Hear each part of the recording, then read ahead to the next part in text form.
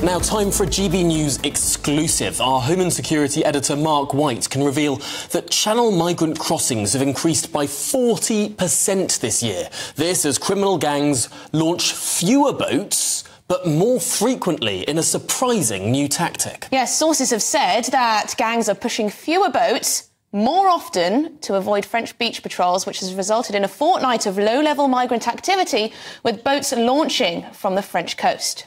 Meanwhile, today it's been reported that Britain has taken 50 migrants from Ireland, just months before Rishi Sunak said he refused to accept any, following this row we've been having with Dublin. But joining us now is Mark White, our Home and Security Editor. And Mark, just explain for us what this precisely means this change of tactics, fewer boats more regularly? Well, what we're used to with the channel people smugglers is really uh, big record crossings on the flat cam days. They had a tactic, and, and probably still do have that tactic as well, of pushing out very large numbers of boats, about a dozen at least, from the beaches of northern France, uh, really just to overwhelm the police security patrols on the beaches there and to ensure that the majority of those boats make it into the water with a view to then trying to reach the UK. What we've observed now, really, uh, over the past 12 days since the 4th of May, has been fewer numbers, and we're talking really one, two, three boats maximum, but every day uh, since the 4th of May. And that all adds up, uh, even though we're only talking uh, 100 or less each throw. It's still 1,250 migrants that have crossed the English Channel uh, in that period of 12 days. And that all adds up to showing that the total so far this year is now at 9,550, which is 40% higher than where we were at this point last year. Now, the reason that percentage figure is significant is because remember last year the government was trumpeting just how well they were doing in managing the small boats crisis and telling us that they had reduced small boat crossings,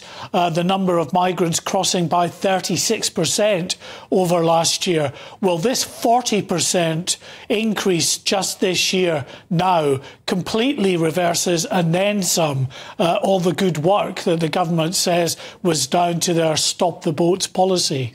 Yes, Mark, they do continue to trot out that line that they've had this reduction, but uh, the facts fly in the face of that. Um, Mark, so this new tactic, um, it seems a little more advanced. Is that fair to say?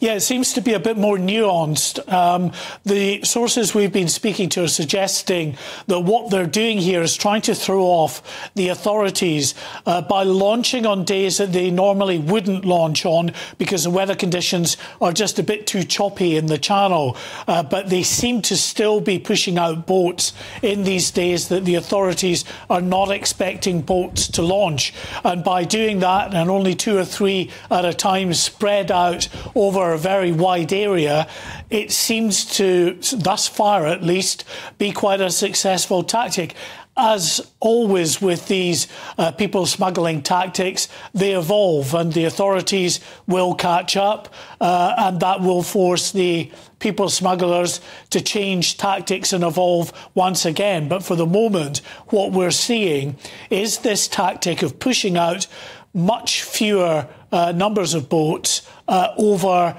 uh, a much uh, more protracted uh, period of time. So, much more frequently, but smaller numbers of boats, which, as I say, mm. over a period of time still adds up uh, to giving us a very significant increase on last year which all in and of itself increases the danger, increases the risk that people will get hit by a big wave in choppy water, frankly, will drown making this treacherous journey.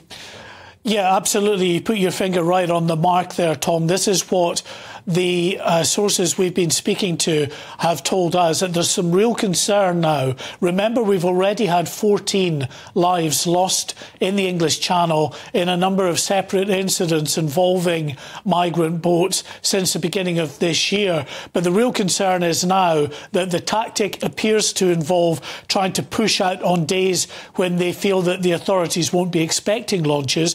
The upshot of that is these days are much more dangerous mm. to try and cross, and then the potential for a boat, these flimsy boats that are overcrowded, the potential for them to run into trouble is, of course, that much more uh, acute.